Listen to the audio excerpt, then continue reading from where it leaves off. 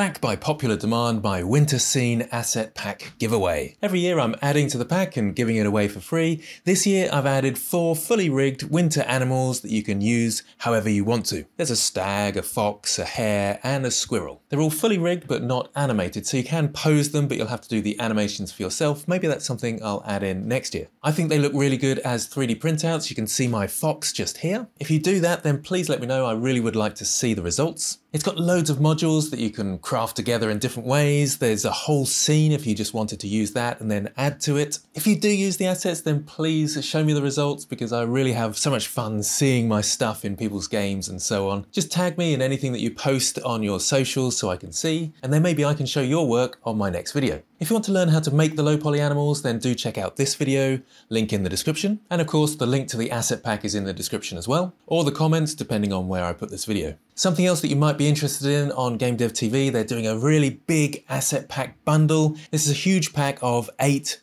big bundled packs, and I think there's 40 asset packs in total inside of it. Thousands of creator made assets, characters, monsters, environments, props, sound effects, tools, and lots of other things. You get all of that for $25, so I think it's worth checking out. The other thing that I'm excited about is that Game Dev TV are giving away 10% of the total sales to an indie dev fund. So from the sound of things, there'll be an application process for the fund, and Game Dev TV will be giving out financial support to worthy developers. The exact details, as I understand it, are still being ironed out, but this type of commitment and community-driven support is exactly what I like about Game Dev TV and I'm looking forward to seeing the projects that are going to emerge from this initiative. So do enjoy the free assets and take a look at this massive bundle offer. Again, links in the description or the comments, and happy game deving.